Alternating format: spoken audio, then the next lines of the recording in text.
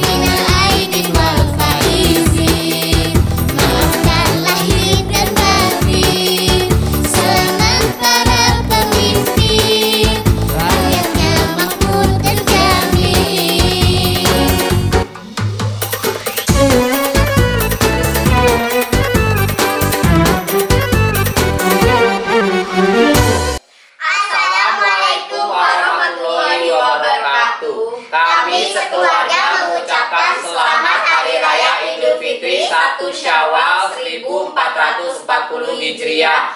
Mohon